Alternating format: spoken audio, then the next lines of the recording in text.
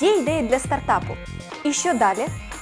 Це серія розмов з українськими новаторами, створена за підтримки Бендукідзе Free Market Center.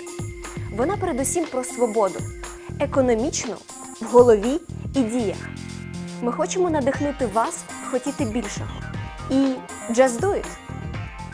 Что нет здоровых людей, есть недообследованные.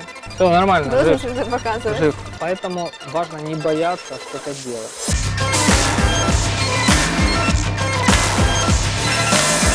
Следить за сердцем 24 на 7. Хоть своим, хоть близкого человека. Украинский стартап Кардиома решил сделать эту мечту доступной без походов за кардиограммами, а только со своего мобильного телефона. Причем основатели не были врачами или инженерами-разработчиками, а только захотели создать значимый стартап и превратили в успешный бизнес. Детектив сердец, здравствуйте, Роман. Здравствуйте, Настя. Расскажите, что такое кардиома? Кардиома – это маленькое устройство, которое следит за здоровьем родных. Оно клеится под грудь и постоянно снимает электрокардиограмму. И э, при обнаружении всех нарушений, которые есть с сердцем, оно отправляет сообщение пользователю и либо его родственникам, э, докторам о том, что необходимо сделать, чтобы предупредить развитие каких-то сложных заболеваний. А сердце, насколько это актуально, вот по цифрам? По цифрам, а, люди старше 35 лет, 50% людей в мире имеют одну из форм сердечно-сосудистых заболеваний. Да, эта болезнь, она сейчас молодеет, э, сейчас уже люди, у нас есть э, пациенты и 25 лет, 26, 30 лет, у которых есть уже серьезная аритмия. А Смерть от сердечно-сосудистых заболеваний на первом месте. 30% людей которые умирают, умирают от сердечно-сосудистых заболеваний. 30% треть. А, Второе. а, Сердечно-сосудистые заболевания – это самое предупреждаемое заболевание. То есть, э, если мониторить и э, иметь возможность увидеть э, плохие динамики, то можно избежать на 80%. Ну, то есть в 80% случаев смертей можно было избежать. А, По статистике Всемирной организации здоровья, а, 50% людей старше 35 лет имеют одну из форм сердечно-сосудистых заболеваний. Сколько вы вложили тогда? Как вы нашли людей, которым вот доверили свою идею? Вложили мы порядка 20 тысяч. Ну, мы это я и жена, наша семья.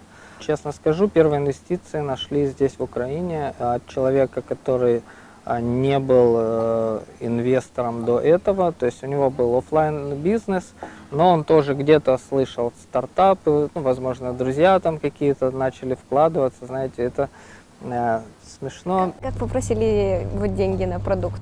Я размещал информацию о нашем продукте, что мы ищем инвестиции на тех ресурсах. Это сайты, это специальные, э, ну это ресурсы, ну условно для, для стартапов, э, для стартапов и инвесторов. Вы разместили объявление, э, вас увидел внутренний на- наш украинский какой-то инвестор.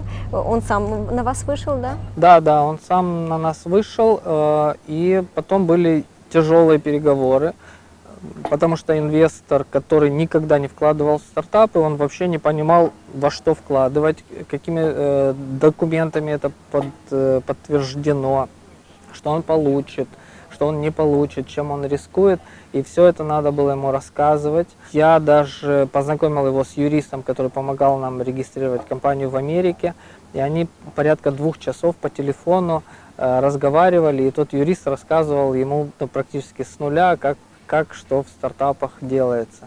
И он э, согласился на 10%. Вот И какую сумму вы подняли тогда вот 60 таким тысяч. способом? 60 тысяч. Плюс долларов, 60 да. тысяч. Мгм. И сколько всего удалось привлечь На инвестиций? сегодня На сегодня. 800 тысяч. Круто. А серийное производство уже запущено? Да, Оно находится в Украине? Нет. А где? пока еще нет. Пока еще нет. Ага. В Китае. Давайте покажем вот на скульптуре, куда вешается кардиома. Да, он уже зеленый, его надо проверить, мне кажется. А, Да, я прилепил Это электрод. электроды. Да, это электрод. Так. Ага. Снимаем защитную пленочку. А сколько весит сам гаджет? На Э, теле? порядка 35 грамм. Ага, то есть легенький. Вот. И вот э, в районе сердца, так, чтобы не мешало, вот мы выбирали, чтобы и руке не мешало, вот сюда вот. Ага. Это на самом деле это стандартное отведение, в котором измеряют кардиограмму. Вот. Так, ага. Сейчас, сейчас проверим, пошла кардиограмма или нет. Все нормально, Должен жив, что-то показывать. жив. На самом Жив? деле это моя. Это, На самом деле мы кардиограмму пользователю не показываем, потому что пользователи не понимают в кардиограммах. И это одно из наших отличий от конкурентов, потому что они показывают пользователю кардиограмму. К чему это приводит? Пользователь идет в Google, лезет и давай себе диагнозы ставить, а там, э, там просто вот Но родным данные отсылаются прям в Род- онлайн-режиме? родным, родным данные не отсылаются. То есть данные кардиограммы может получить только доктор, сертифицированный доктор, у которого есть на это разрешение. Кстати, вот что внутри находится. Это материнская плата, да? Да, оплата. э, больше всего места занимает аккумулятор, потому что мы сделали так, чтобы хватало А на насколько 5-7 хватает? дней. 5-7 дней без подзарядки, да. Остальное, как видите, там вообще ничего не занимает. Плата тонюсенькая. На экранчике мы показываем информацию, которая понятна пользователям, то есть это общее состояние. Здесь можно посмотреть динамику, то есть как менялось в течение дня. Это э, напряжение и расслабление. То есть э, э, очень плохо, когда э, человек перенапряжен и график уходит вверх. В этот момент ему э, приложение рекомендует расслабиться, там, подышать. При любом стрессе, музыку. беге, Да, например. да. Мы э, для человека мы показываем фактический уровень стресса, который основан на точных данных кардиограммы и вариабельности сердечного ритма. Э, Вот сама вариабельность сердечного ритма, вот видите, утром, когда я э, только начал себя измерять, у меня был немножко ниже, э, ниже уровня, ниже среднего. Так. Вот. А сейчас, э, видно, мне нравится общение, и я вхожу в зону Хорошего настроения. хорошего настроения, да, и хорошего Вот. состояния здоровья.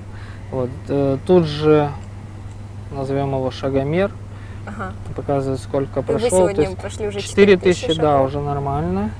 Э, Давление. Давление сейчас оно вводится вручную, а в дальнейшем оно будет автоматически высчитываться из кардиограммы. И э, прием пилюль, напоминание о приеме таблеток сейчас в Ну, разработке. то есть это админский, по сути, доступ. а, Это, это доступ, э, э, мы называем это э, менеджер своего здоровья. То есть, чтобы человек сам менеджерил свое здоровье. Но вот эту кардиограмму он не будет видеть, Не будет. но он будет видеть просто вот как вы сейчас Он будет, показали. он будет вот так видеть, э, ему даже в апку не обязательно заходить, он будет видеть э, пуши, зеленый код, у тебя Ага. все хорошо, давай ты э, шел больше 10 минут. Э, ну, опять же, у меня сегодня все хорошо, зеленый То есть, а пуши. если какая-то А проблема, А если проблема, да, и у нас были случаи, когда наши бета-тестеры, наши э, сейлзы там в Америке, они даже вот звонили и говорят, какая-то фигня, он мне написал там, типа, тебе надо расслабиться, я сел, музыку включил, и мне приходит, типа, через 10 минут, о, молодец, э, ну, ты уже в норме. Как он это считает? Я говорю, я не знаю, мистика. какие ошибки в стартапах? Самая важная э, ошибка стартапа это когда он не проверяет, э, не проверяет рынок, не проверяет, насколько его идея нужна вообще кому-то, кроме него. Э, нужно иметь силы э, поставить крест на этом и пилить что-то другое. Вот. Либо э, переделать, либо пилить с нуля. Важно не бояться что-то делать. Если э, будешь сидеть и э, ну, либо работать на кого-то и думать, блин, я боюсь там, или не получится, или нет возможности. Возможностей сейчас намного больше, чем у моего поколения. И мне нравится пословица, э, которую приписывают разным, в том числе Стиву Джобсу, это «я не боюсь жалеть о том, что я сделал, хуже, если я буду э, жалеть о том, что я не сделал». И я вот э, призываю практически всех, делайте. И иметь горячее сердце, наверное, в Да. прямом смысле Да. этого слова. Спасибо большое. Спасибо, Анна. Следующем выпуске мы расскажем, что делать, когда уже есть идея и хочется ее пощупать. В Украине есть лаборатория прототипирования, где рождаются стартапы. Скоро на канале.